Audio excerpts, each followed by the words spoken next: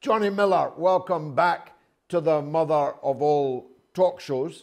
Before uh, going into the situation where you are, I'd like your take on this the issue of casualties. Uh, von der Leyen took down her video, but she said it, and they haven't resiled from it, that Ukraine has lost 100,000 soldiers in 10 months.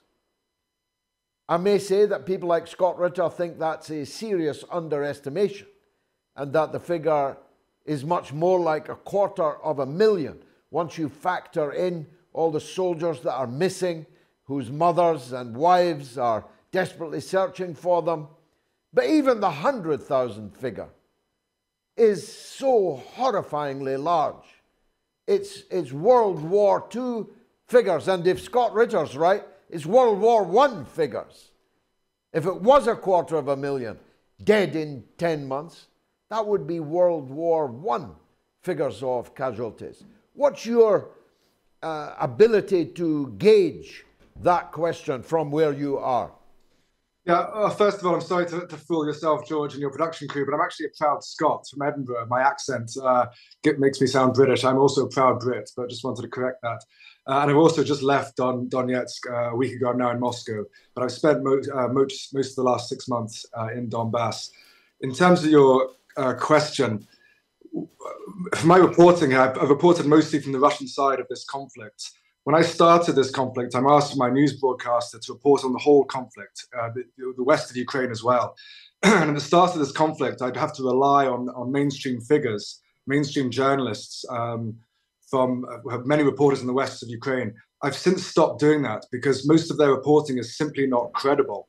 Uh, was, you have these missiles landing in Poland, which turned out they said they were Russian, they turned out to be Ukrainian. I'd have to rely on these sources and I simply don't anymore. And I rely increasingly on people like Scott Ritter, uh, some other fantastic uh, Twitter and Telegram journalists, citizen journalists, whose information is far more reliable. And indeed, as a journalist covering this war uh, in Ukraine, most of your uh, the research you do is on the Telegram channels.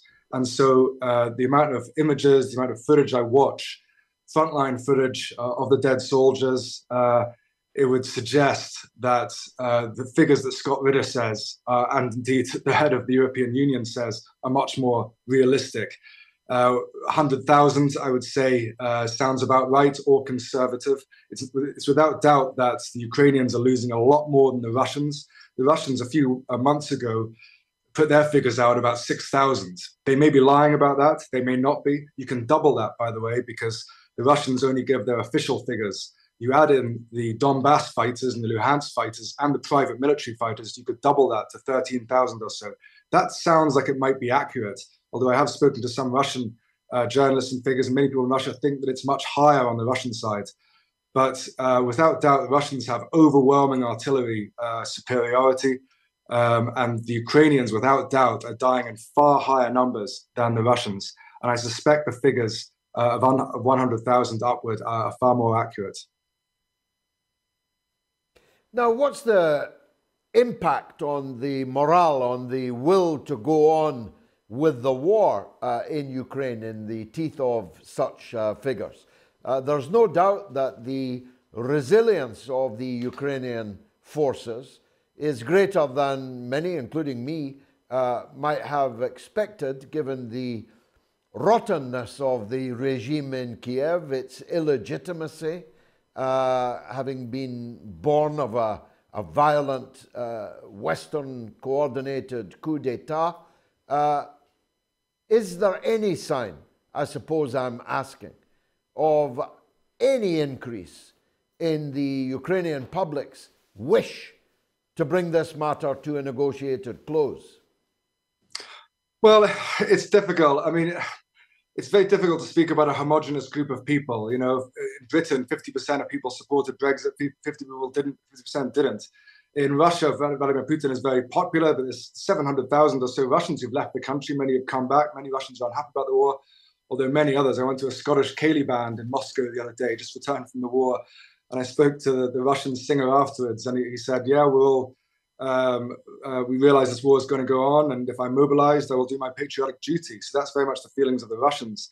For the Ukrainians, it's difficult to tell. I have a friend in, in Kiev, uh, pro, pro Ukrainian government friend. And, you know, he says, you know, he's living in the dark right now, there's no electricity, but he still says the missile defense is working. There's a huge, which is just absurd. There's a huge amount of propaganda in Ukraine. It's become, I mean, I was in Kiev at the opening stages of the war. I fled for, for my safety. I, any journalist who criticizes the Ukrainian government is the risk of getting arrested or most likely killed. They've banned all political party, most political parties. They've banned opposition media. And one of the most the most important story that I've been covering over six months, and it's such an important story, George, is that Ukraine is intentionally shelling and killing uh, citizens in Donetsk that it claims to be its own citizens.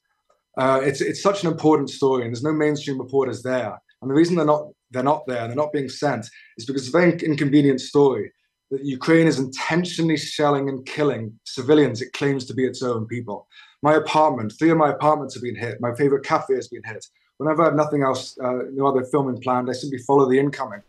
Uh, sometimes a missile just lands in the street. Sometimes it's a bus station with bodies in the street. Sometimes it's a youth center with a dead woman outside and, a, and her mother over her screaming and crying to the sky. Uh, these these people in Donetsk, almost all all of them are pro-Russian people.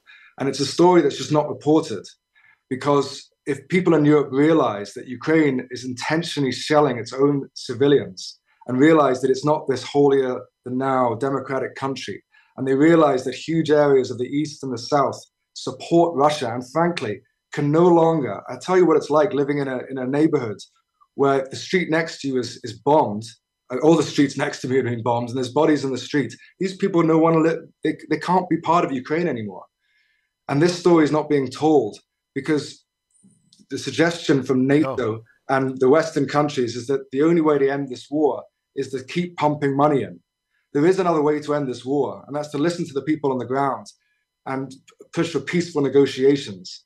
Uh, and that, that's why this story is not being told. I, I, if I had a pound for every journalist that uh, put to me in the run up to the Iraq war that uh, the Iraqi regime, Saddam Hussein, had been bombing his own people, uh, I'd be a rich man. And yet nobody ever says in the Western media that Zelensky is bombing his own people. He's killing his own people. They say that the whole of Ukraine is theirs. Their war aim is to recover all of their national territory, which means that the very people they are killing on a daily basis since 2014 are their own people that they are killing. I wonder if it ever occurs to Western journalists that that used to trip off their tongue in relation to Iraq so easily. Well, yeah, and I can't tell you enough, George, or try to transmit to your viewers what it's like um, and just how shocking it is when you're living the, the, week before I was I left just last week, 20 civilians, around 20 civilians were killed by the shelling, just indiscriminate shelling. I went to a church. It's very difficult living in these places. There's a beautiful cathedral there. Sometimes I go, I'm spending more time in churches, uh, and I and I and I go there and try to find some peace there. And I think about this cathedral being hit. The next day it was hit, and just a few days ago, a, a missile went through the roof and put a hole in its roof. Uh, and it's an incredibly underreported story. And this is why Noam Chomsky, the great Noam Chomsky, and John Pilger, the great Australian journalist, both recently came out and said that there's no war in, that they've ever seen, that there's been more propaganda than this war. And they've been reporting and, and commenting on war since Vietnam. And you have to ask yourself, why in this war there's been more propaganda than any other war? Why? Because I'm in Moscow now. A lot of Mos- uh, Russian people have been damaged by the sanctions, particularly, people in IT, for example, who deal with trade in the West. But most Russians haven't. These sanctions, it must be the stupidest policy in modern European history to sanction a country in Russia, and the sanctions seem to be doing more damage to Europe than they are uh, to Russia. And that's why you need such a level of propaganda in this war to convince the European people to continue to support a war in which they're having to drop their own living standards. And when there is a clearly a peace available, that's why there's so much propaganda in this war. Any serious international analyst or historian knows perfectly well that NATO has played a role in provoking, provoking this war. That's not controversial. That's just very obvious. But anybody who says that is deemed to be some kind of pro, pro Putin or Kremlin propagandist.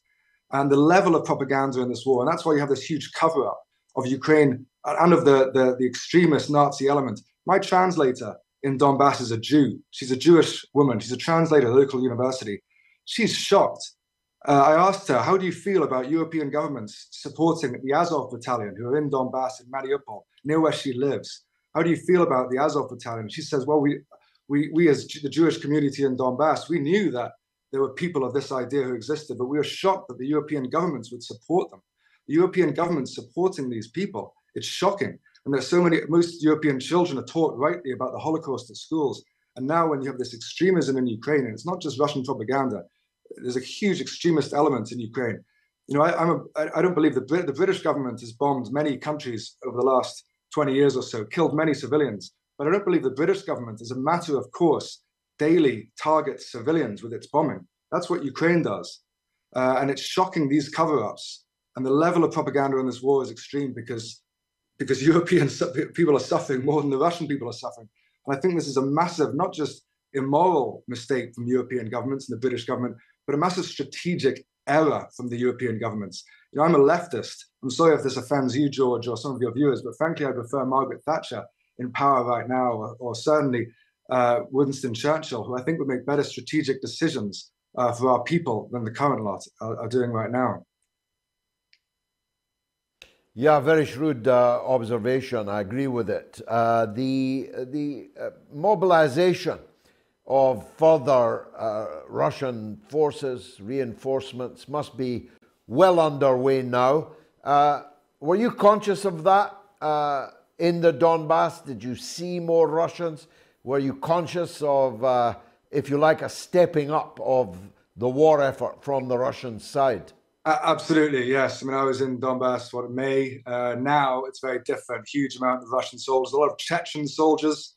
Uh, the Chechen soldiers aren't quite sure how to respond to me as a British person there. They're quite confused about why I'm there. They keep uh, demanding that I say Akhmat Sila, which is their greeting they do, but clearly a huge, a huge influx of Russian soldiers.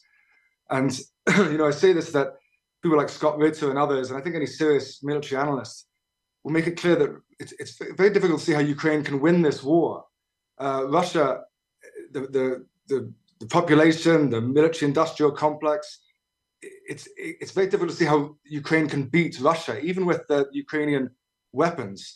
As I said, there are many Russian people unhappy about this war, but the majority of Russian people are supporting this war, and they the Russians are able to mobilize huge amounts uh, of people, and they have I spoke to a Russian analyst, pro-Russian analyst, the other day. He told me he's been to the east of Russia.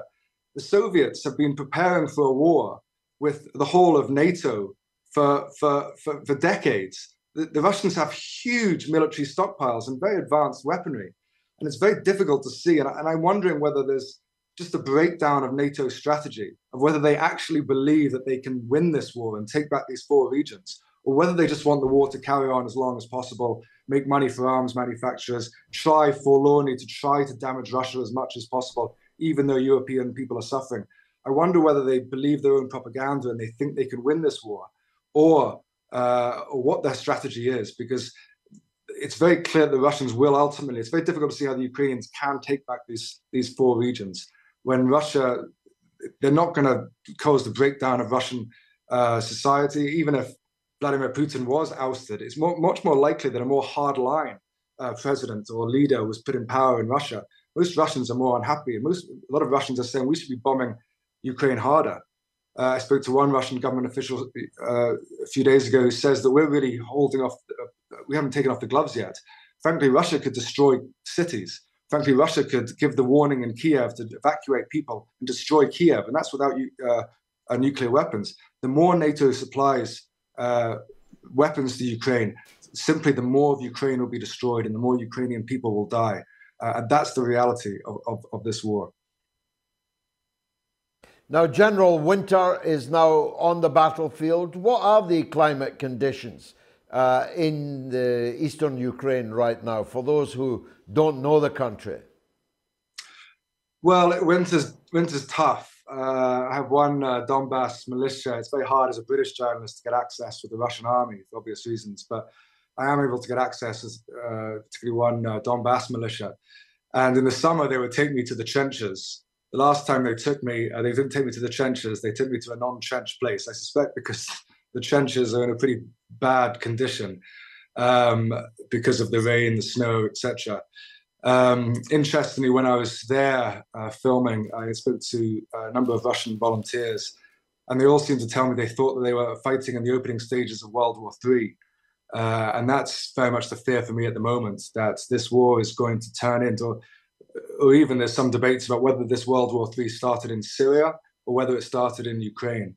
And that's the fear for me. And I think you talk about that a lot, a lot George, about this uh, coming war uh, that and, and, the dangers of that.